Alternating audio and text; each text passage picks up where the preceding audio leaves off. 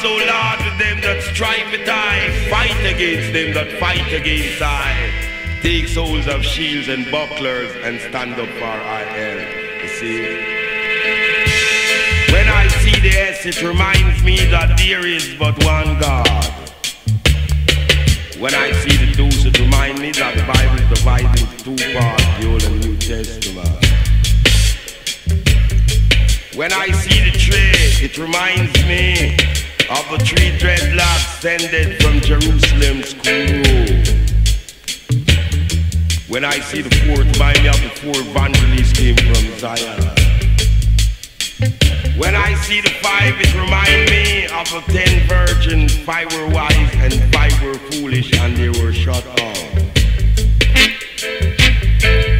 When I see the six, it remind me of six day God made this great heaven and earth. When I see the seven, it remind me that God rested on the seventh day. When I see the eight, it remind me of these righteous people saving Noah's Ark. There's Noah, son, their son, and their wife.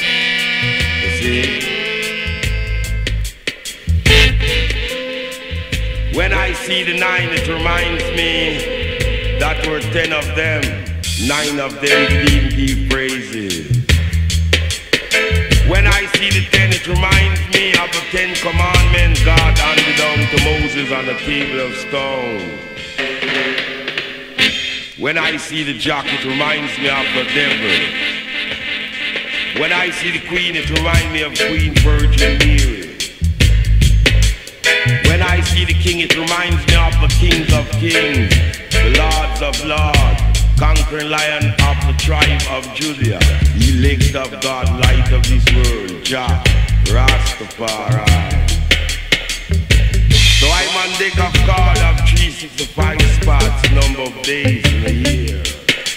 52 cards, number